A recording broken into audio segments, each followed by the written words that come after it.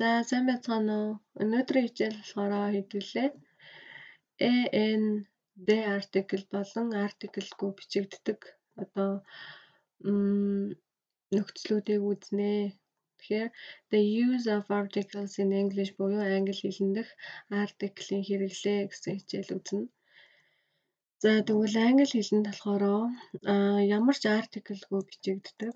А нэг бол A, N, the гэсэн артикл хэрэглэгддэг. Ийм артиклийн дүрмүүд байна. За тэгвэл хэдүүлээ эхлээд энийг харъя. За тэгвэл AN артиклийн хэрэглээ болохоор first mention буюу ямар нэг зүйлийг анх удаага дурдж ярьж байгаа тохиолдолд хэрэглэнэ. За жишээлбэл I saw an old woman with a dog in the park гэж юм. Тэгэхээр паркд байгаа тэр нохоотой хөгшин эмэгтэйг би одоо харсан гэсэн үг. Тэгэхээр энэ одоо нөгөө дурддагдж байгаа эмэгтэй маань одоо хөгшин эмэгтэй болон тэр нохоо болохоор анх удаага энэ ярианд ингэж дурддагдж ярьж байгаа тохиолдолд бид нар AN артиклийг авсан байна. За jobs and descriptions буюу одоо мэрэгжил болон одоо ямар нэг зүйлийн одоо хүн юм уу эсвэл юмсын одоо ямар төрөлтэй, ямар шүү вэ гэдгийг одоо нөгөө тодорхойлж хэлж байгаа зүйлийг хэлэхдээ бид нар бас an артиклийг хэрэглэх нь байна. За жишээлбэл Paula is a teacher буюу Paula бол багш. Paris is an interesting city буюу Парис бол одоо маш сонирхолтой хотоо. Аа тэгээд when I was a teenager I enjoyed sleeping хэрэг өсвөр насны дээрээ би маш одоо унтах дуртай байсан гэсэн утгатай. За тэгэхээр одоо мэрэгжил хэлж байгаа тохиолдолд аа за тэгвэл альва нэг одоо юмсыг эсвэл одоо тий нөгөө хүмүүсийг одоо ингэж тодорхойлж хэлж байгаа descriptions буюу нөгөө тодорхойлтыг хэлэхдээ бид нар an article-ыг ашиглах нь байна. За тэгвэл энэ дээр хэдүүлээ нэг тэмдэглэгийн хамгааг харъя that you cannot use singular countable nouns alone without a, the, my, etc. гэж байна. За тэгэнгүүт нөгөө нэг тоологддог одоо ганц тооны нэр үгэн дээр бид нар нөгөө нэг хэрэглэхгүй байж хэрэглэхгүй одоо байж болно гэсэн үг. Жишээлбэл юу гэдэг I don't have a driving license. А энэ нөгөө нэг юу а одоо тоологддгүү биш ээ тоологддог одоо нэр үг чинь тоологддог тоологддгүү гэж байгаа штэ. Тэгээд тоологддог нэр үг одоо ингээд а ганцаараа одоо хэрэглэгдэж байгаа тохиолдолд биш ээ энийг ингэж тайлбарлая. А нэг ширхэг одоо тоологддог тэгээд одоо нэг ширхэг зүйлийг ярихдаа an article-ыг одоо хэрэглэж болно гэсэн үг байхгүй юу? a article-ийг хэрэглэн an article-ийг хэрэглэн гэсэн үг. Жишээлбэл одоо юу гэдэг I don't have a driver license гэдэг чинь нөгөө хүнд одоо нэг ширхэл жолооны өмнөх байдаг штэ. Тэгэхээр нөгөө заавал нэг ширхэг гэж ярихгүйгээр a гэдэг одоо article маань одоо ганц тоог бас илэрхийлж гин гэсэн үг байхгүй юу? За тэгээд надад одоо жолооны үнэмлэх байхгүй гэж байна. Тэгээд this hotel doesn't have a spa гэдэг нь болохоор одоо энэ зочид буудал спагүй юм байна. Спа байхгүй байна гэсэн үг. Тэгэхээр тоологддог ганц тоо одоо яг нөгөө ганц тоон дээр хэрэглэгдэж байгаа тохиолдолд бид нар одоо an article-ийг хэрэглэнэ. Энийг өмнө нь үзсэн нөгөө бас нэр үгийн өмнөх үзсэн хичээлд дээр бас аягүй сайн тодорхой үзсэн байгаа. Та дуршлуулаад бас үзэж болно шүү. Мм За D article-ийн одоо жишээ нь биш хэрэглээ нь болохоор second mention буюу одоо нөгөө нэг өмнө нь ярьжсэн зүйл дахин одоо дурддагдж ярьж байгаа тохиолдолд хэрэглэнэ гэсэн байна. За тэгвэл A man and a woman sat in front of me. Uh, the man was British, but I think the woman wasn't. Тэгэхээр одоо нөгөө миний урд одоо сууж исэн эрэгтэй эмэгтэй хоёр. За тэрний эмэгтэй эрэгтэй нь болохоор одоо British буюу Англи, Британи хүн аа гэхдээ би эмэгтэйг нь Британи гэж бодохгүй байна гэж юм. Тэгэхээр өмнө нь одоо өөрийнх нь урд сууж исэн гэдээ дурддагдсан. Тэр зүйлийг дахиж одоо тэр эрэгтэй нь болохоор Британи хүн эмэгтэй нь би Британи биш гэж бодож байна гэж дахин одоо хоёр дахь удаага дурддагдж ярьж байгаа тохиолдолд бид нэр the article-ийг хэрэглэж байна. За specific things буюу одоо юм тодорхой зүйл дээр хэрэглэж байгаа. За жишээлбэл юу гэдэг нь те when uh, we use the uh, when we use the to talk about specific things or people uh, when it's clear which things or people we are talking about. За тэгвэл бид нар нөгөө нэг бид нар одоо ямар зүйлийн талаар эсвэл одоо ямар хүмүүсийн одоо тухай ярьж аваа ярьж байгаа вэ гэдэг нь бүр тодорхой тохиолдолд одоо ийм бид нар the article-ийг хэрэглэнэ гэсэн байна. За жишээлбэл where are the kids?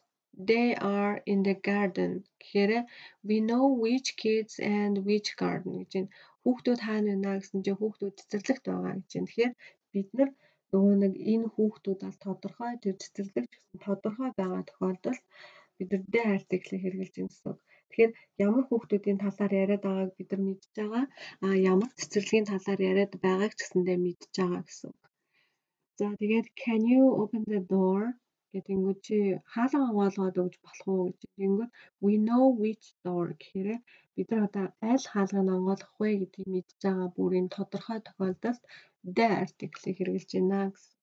За there is only one буюу одоо uh, we use the when there is only one of something гэхээр ямар нэг зүйлээс цор ганц байдаг зүйлийг одоо хэлж байгаа тохиолдолд хэрэглэнэ гэсэн байна.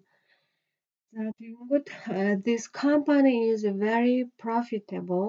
The manager must be really good. Гэт тэгэнгүүт энэ компани бол одоо маш юм ашигтай компани. Тэгэхээр менежер нь одоо маш одоо сайн бай хүм сайн одоо байгаа хаа. Тийм болохоор энэ компани одоо ашигтай байгаа х гэд.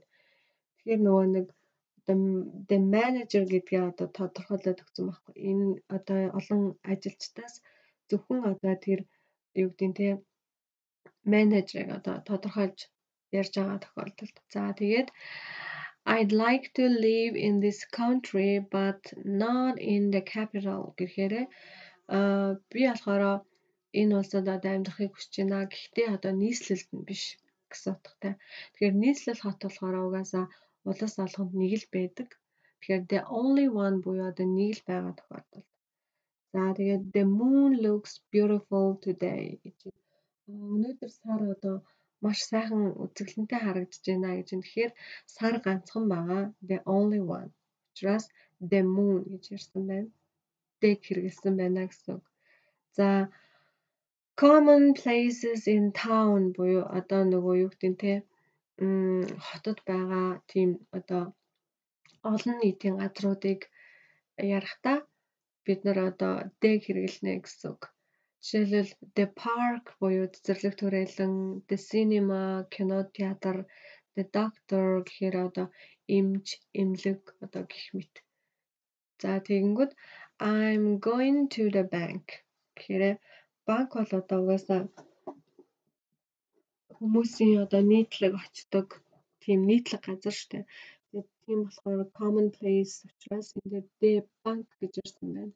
Тэгэхээр би банк руу явж байна гэд. I found Peter at the station гэхээр би одоо буудлын дээр Петрик олсон гэсэн үг. За тэгээд I'm at the library гэхээр би номын санд байна гэх мэтчлэн одоо common places буюу нийтээр одоо очдог юм нийтлэг газруудыг хэрэглэх ярихдаа бид the article хэрэглэнэ гэсэн байна. За тэгээд superlatives буюу одоо тэмдэг нэрийн давуу зэрэг харьцуулсан зэрэг гэж хэдүүлээ өмнөх хичээлдэр бас үздсэн байгаа. Тэрний superlatives буюу давуу зэрэг дээр бид нар the article-ыг үргэлж хэрэгэлдэгэ гэж үзсэн. За тэгвэл жишээ нь this is the best restaurant in town гэхээр энэ энэ ресторан бол одоо энэ хотод байгаа хамгийн шилдэг нь хамгийн гоё стран нь гэсэн үг. За тэгээд musical instruments буюу хөгжмийн зэмсгийг хэлэхдээ бас the article-ыг одоо нөгөө хэлэх байгаа хөгжмийн зэмсгийнхээ өмнө нь одоо тавьж хэрэглэнэ гэсэн үг. Тэгээд Margaret plays the guitar and I play the flute гэж юм те. Тэгэнгүүт Margaret болохоор гитар тоглодог, би болохоор лимб тоглодог гэж байна. За тэгвэл бид нар A, N, D гэдэг артик 3 артиклаас гадна одоо энэ ямар ч артиклуудыг хэрэглэхгүйгээр бас ярьдаг тохиолдлууд байгаа. За тэгвэл эдрийг харцгаая. А ямар үед бид нар ерөөсөө артиклийг хэрэглэхгүйгээр бичихгүйгээр одоо байх вэ гэхээр before plural or uncountable nouns to talk about something in general гэж байна. За тэгвэл ямар нэг зүйлийг одоо ерөнхийд нь те юу гэдэг олон тоон дээр байгаа зүйлийг эсвэл тоологддгүй тийм зүйлсүүдийг ярихдаа бид нар ямар ч артикл хэрэглэхгүй гэсэн. Тэгэхээр I don't drink milk гэхээр би сүү уудаггүй гэсэн. Тэгэхээр milk гэдэг үг чинь болохоор тоологддгүй зүйл шүү дээ. Бид нар бас өмнө нь үзсэн хичээл дээр шингэн болон нунтаг тийм тийм тийм одоо тохиолдлуудад ингэж ингэж хэрэглэнэ гэдээ үзсэн. Хэрвээ одоо энийг ойлгоогүй бол өмнөх хичээлүүдээ буцаагаад үзээрэй. За тэгээд women drive more cautiously than men гэж юм. Тэгэхээр cautiously than men гэхээр одоо юу гэдэг эмэгтэйчүүд эрэгтэйчүүдийг бодвол арай анхаарал болгоомжтой машин барьдгаа гэсэн үг. Жолоо барьдаг гэсэн үг. За энэ тохиолдолд болохоор women, men гэдэг үгнүүд чинь нөгөө нэг тоологддгоо нэр үг штэ irregular plural буюу нөгөө дөрмийн бус яг үнцээр өөрчлөгддөг нэр үгнүүд. За тэгвэл uncountable буюу тоологддгоо нэр үг эсвэл нөгөө олон тон дээр байгаа нэр үгэн дээр бид нар and article алиг нь хэрэглэхгүй гэсэн үг. За тэгвэл ялгаа одоо харьцуулалтыг харъя л та тий. Жишээлбэл I love music гэж байна. Би хөгжимд дуртай, дуу хөгжимд дуртай. За тэгэнгүүт music гэдэг одоо ерөнхийд нь ярьж байгаа тохиолдолд одоо яг ямар хөгжимд дуртай юм, ямар одоо жанрын хөгжим сонсдгийг гэж биш. Ерөнхийд нь буюу одоо music in general гэж те. Тэгэхээр хөгжмийг одоо хөгжим гэж ерөнхийд нь ярьж байгаа тохиолдолд бид нар ямар ч артикл хэрэглэхгүй. За тэгвэл I loved the music at the party гэж юм. Тэгэхээр нөгөө specific music буюу одоо нөгөө одоо үдшилэг дээр байсан тэр явж исэн хөгжмөнд би дуртай надад таалагдсан гэж байгаа хгүй. Тэгэхээр энэ болохоор нөгөө тодорхойлж хэлж байгаа гэсэн үг. Ямар хөгжим юм? Үдшилэг дээр тоглогдчихсэн хөгжим. За тэгвэл children are often difficult гэж те. Тэгэнгүүт Хүүхдүүд болохоор ихэвчлэн одоо хэцүү байдгаа гэсэн байна. Тэгвэл энэ дээр хүүхдүүд гэдгийг ерөнхийд нь хэлсэн байна. Ямар хүүхдүүдийн, хэний хүүхдүүдийн гэдгийг хэлээгүй. Ерөнхийд нь л хүүхдүүдгээ ярьсан байгаа учраас энэ дээр ямар ч article аваагүй бичигдсэн байна. За тэгвэл they are a nice family. The children are very funny гэсэн байна. Тэгэнгүүт тэд бол үнэхээр сайхан гэр бүлээ. Тэгээд хүүхдүүд нь одоо маш хөвгөлтэй гэж юм. Тэгэнгүүт Энэ тохиолдолд одоо энэ яригдж байгаа хүүхдүүд болохоор тодорхой байна.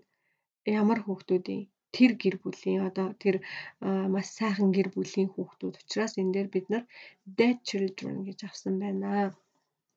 За meals буюу хоолн дээр ингэсэн байна. We do not use an article before names of meals breakfast, lunch, dinner гэх мэт. За тэгвэл өглөөний хоол, өдрийн хоол, оройн хоол гэх мэт одоо энэ хоолнууд дээр бид нар артикл авахгүй, хэрэглэхгүй одоо ярина яа одоо хэрэглэхгүй гэж юм. Тэгэхээр dinner is served at 8 гэж юм. Тэгэхээр одоо dinner болохоор оройн хоол одоо 8 цагт одоо болно гэсэн утгатай.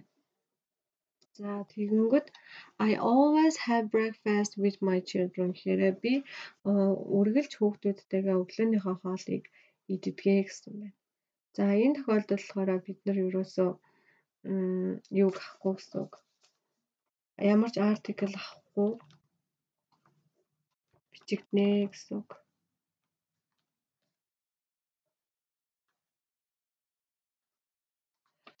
За years, months and days буюу одоо жилүүд, сарууд тэгээд өдрүүд дээр болохоор бид нар бас нөгөө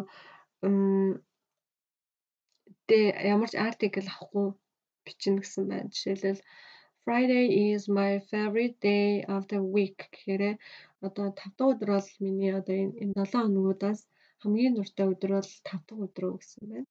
За тэгээд I think 2020 will be an excellent year гэхээр а 2020 он одоо маш гайхалтай жил болох байхаа гэж би бодож байна гэсэн. Энэ дээр болохоор өмнө нь би бас хэлжсэн санагдаж байна. Бид нар жилийг уншихдаа одоо ингээ хоёр таслаад уншиж болно гэсэн. Жишээлбэл 2020 гэдгийг 2020 year гэдэг ч юм уу 2020 гэдэг. А нэг бол 2020 гэж уншиж болно. Одоо нэг бүр одоо дэлгэрэнгүйгээр нь гэсэн үг. За тэгээд задлаад одоо ингээ хоёр хоёроор уншиж байгаа тохиолдолд энэ дунд нь одоо 0 орсон байх юм бол жишээлбэл 1900 3 муруу гэдэг ч юм уу 0 орсон байх юм бол тэр 0-ыг өв гэж уншдаг байгаа. Тэгэхээр 1903 years гэдэг ч юм уу тэгэж уншина гэсэн үг. За TV гэсэн байна. Uh, when used as a broadcasting service not as an appliance гэж байна.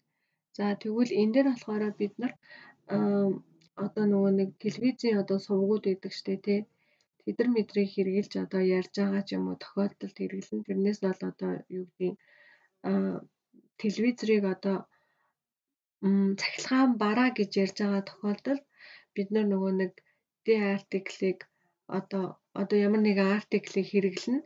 А гэхдээ телевизрийг хэрвээ одоо нөгөө нэг юу гэдэг те одоо сувг мовг үзэх тэр хэрэгслэр нь хэрэгжилж байгаа тохиолдолд артикл бичихгүй гэсэн байна. За жишээ нь I saw it on TV гэхээр би энийг телевизээр харсан, телевизээр үзсэн гэсэн үг. За тэгээд I don't watch TV гэхээр би телевизээр үздэг гэсэн байна. За тэгвэл turn off the TV. I bought a new TV.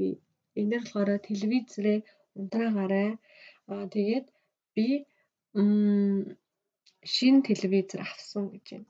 Энэ тохиолдолд болохоор одоо бид нар нөгөө нэг ямар нэгэн одоо сувг үзэх ч юм уу тэр хэлбэрээр нь ашиглаад а энэ тохиолдолд болохоор бид нар цахилгаан хэрэгсэл гэдэг одоо appliance гэдэг утгаараа хэрэгэлсэн болохоор энэ дээр article авсан байгаа.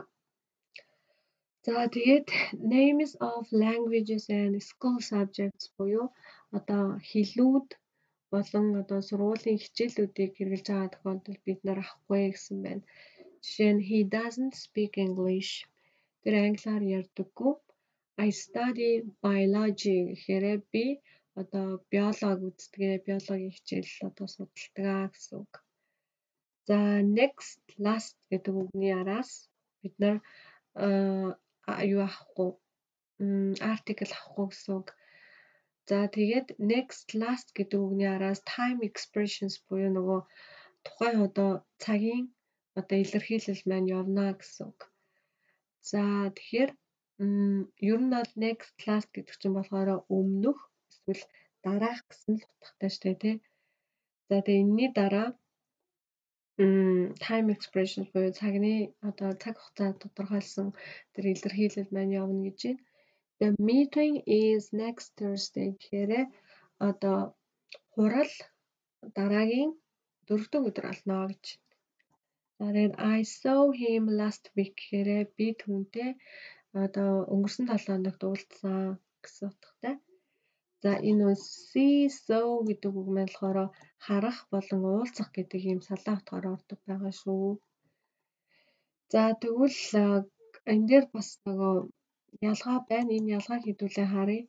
За тэгвэл last year we spent one week in London Тэгэхээр last year гэдэг нь болохоор одоо нөгөө одоогоос энэ одоо одоо энэ байгаа жилийн өмнөх жилийг хэлж байгаа шүү дээ. Тэгэнгүүт We really loved London. The last day we were really sad.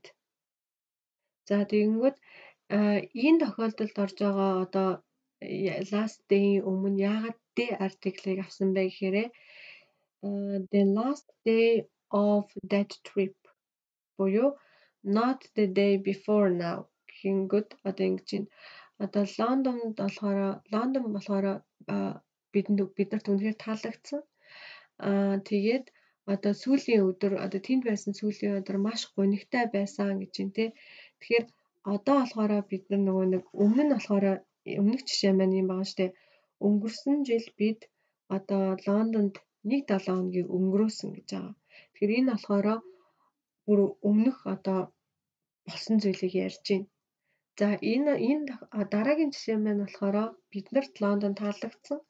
Тэгээд тэнд байсан хамгийн сүүлийн өдөр маш гонигтай байсан гэж байна те. Тэгэнгүүт энэ болохоор аяллаа хамгийн сүүлийн өдрийн талаар яриад байгаа байхгүй. Тэрнээс яг өмнөх жилийн талаар биш.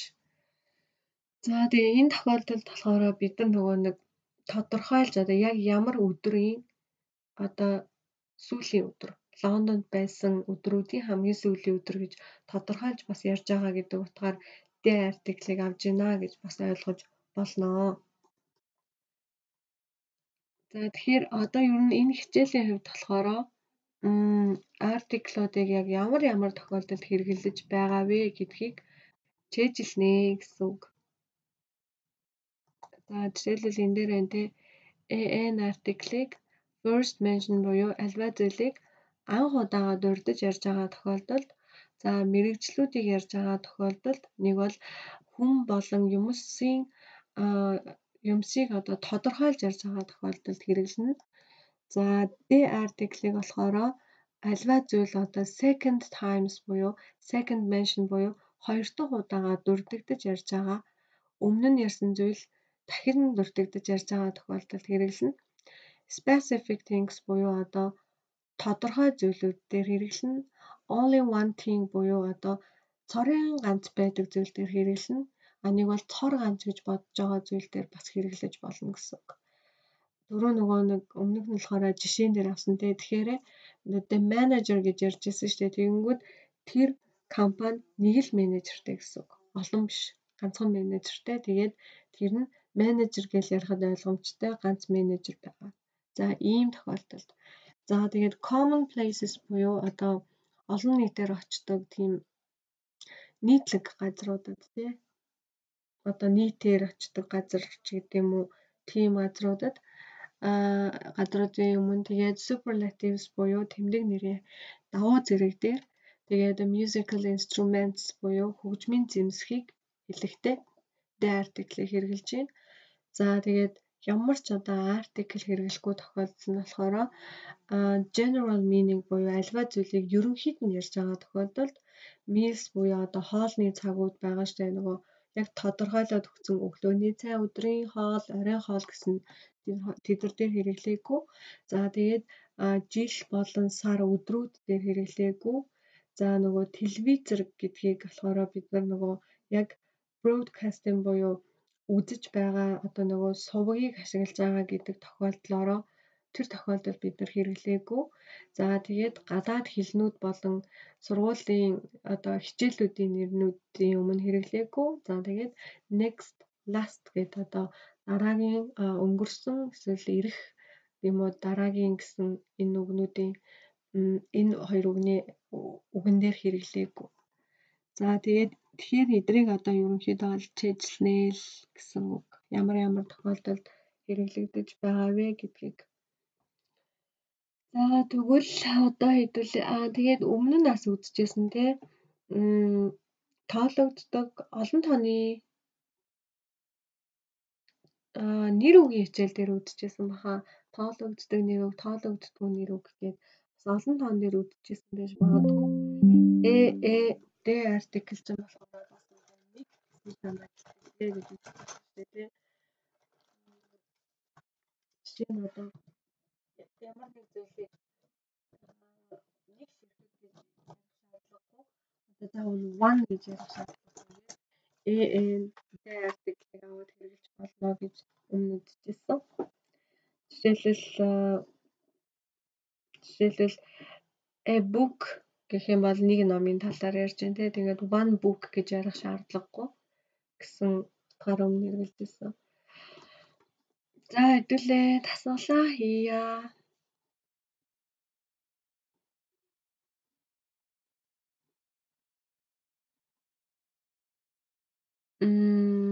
За дараахан өгүүлбэрүүдэд одоо артиклийг сонгох эсвэл одоо AND артиклуудыг сонгоод гүцээгээд бичээрэй гэсэн байна.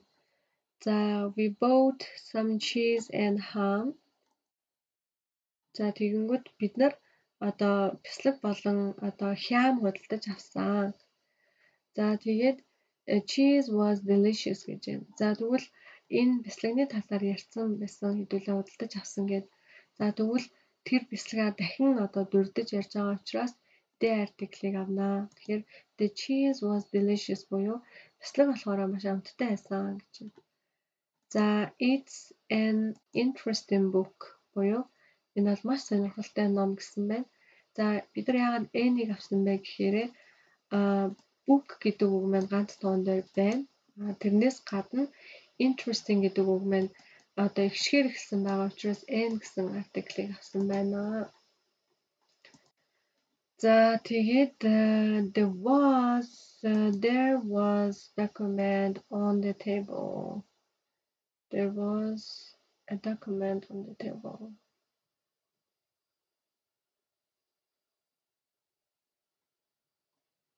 The document on the table.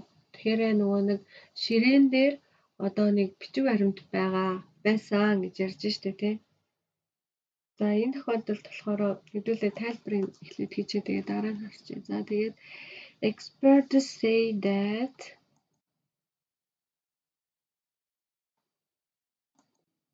the coffee can be good for your health. Буюу нөгөө нэг шинжээчд одоо хэлэхдээ кофе болохоор одоо эрүүл мэндэд тустай гэж хэлсэн гэж байна. I don't have a car. Can you pass me Can you pass me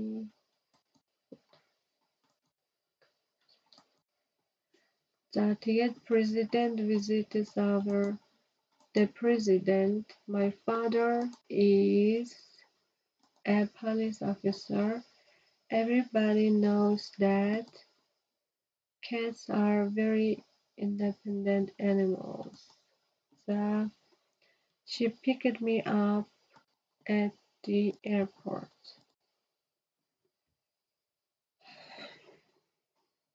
The За энэ болохоор ингэж байгаа шүү дээ. Uh, we use the энэ болохоор нөгөө өмнө нь бид нар энэ бяцлаг худалдаж авсан гэд худалдаж авсан бяцлагаа дахин дурдж ярьсан болохоор the article-ийг сонгосон. За энэ тохиолдолд болохоор бид нар нөгөө нэг ямар нэг одоо юмс үзэгдлийн одоо ямар төрөл одоо энэ дээр болохоор мэрэгжил юм уу хүмүүсийн мэрэгжлийн талаар эсвэл одоо хүмүүс болон хүмүүс болон юмс үзэгдлийн одоо ямар төрлийн гэдгийг хэлэхдээ AN article-ыг аавна гэсэн. За энэ нөгөө тодорхойлохдоо гэсэн шүү дээ тий. Жишээлбэл description гэж үзчихсэн шүү дээ тий. Тэгэхээр ямар номын interesting буюу сонирхолтой ном гэдэг утгаар. За энэ дээр болохоор алдсан. Энэ дээр A-г авах байсан байна. За тэгэнгүүт we use when we mention something for the first time гэд би энийг болохоор нөгөө өмнө нь was гэд өнгөрсөн цаг байсан болохоор тэн дээр байсан гэд одоо өмнө нь ярьж исэн юмнуудаа одоо дахиж дурдж ярьж байгаа болов гэж одоо D авсан баггүй юу. За тэгэнгүүт ширээн дээр одоо байсан документ буюу нөгөө бичиг баримт гээд анх удаа дурдж ярьж байгаа юм байна л та. Би энэ нэр өнгөрсөн цаг ахаар нь дахиад үрдэ ярьж байгаа болов уу гэж бодцیں۔ За энэ дээр болохоор аа шин дээр би өөрөө алдсан байна. Яагаад гэвэл нөгөө нэг тоологддог тоологддгүй нэр үг гэж баахан ярьж ярьж ирсэн аа. Кофе ч угаасаа нөгөө тоологдохгүй шүү дээ. тоологддгүй нэр үг. Тэгээд coffee center гэж болж өөрчлөгддөг ш. Тэгээд тийм болохоор энэ дээр артикл авахгүй бичих нь зүг байсан байна. За энэ болохоор нөгөө нэг ганц тоон дээр те хэрэглэгдэж байгаа тохиолдолд тоологддог. Аа тэгтээ тэр нөгөө нэг яг нэг гэж яригддаг юмн дээр хэрэгжилж байгаа. За тэгээд энэ болохоор water буюу ус гэдэг чинь өөрөө нөгөө нэг тодорхой зүйл шүү дээ. Тэгээд тэр усыг аваад өгөөч гэж энэ угаасаа тэр авч өгсөн тодорхой учраас. За president гэх болохоор ерөнхийлөгч угаасаа нэг л байдаг. Тэгэхээр only one гэдэг утгаараа. За тэгээ энэ дээр police officer буюу jobs гэдэг нөгөө нэг мэрэгжил заасан үг учраас эг авсан. За тэгээ энэ дээр болохоор аа энэ дээр би бас өөрөө алдсан. Энэ яг миний буруу байна. Энэ одоо энэ was дээр би нөгөө арай илүү бодчиж за энэ хоёр бол яг миний буруу байна. Мм за нөгөө нэг тоологддог тоологддгүй нэр үгэн дээрээ л бас алдчихж олон тоон дээр тэгээ бас тоологддгүй нэр үгэн дээрээ энэ дээр нөгөө cats гэж байгаа шүү дээ тий. Тийм болохоор энийг анзаараагүй байна. За тэгээ энэ airport болохоор нөгөө нэг common places буюу нөгөө хүмүүс одоо нийтээрээ олон нийтээрээ очдог тийм газар болохоор ингэж сонгоно the article-ийг. За за өнөөдрийн хичээл юм байна. Тэгээд дараагийнхаа хичээлээр уулзъя. Bye.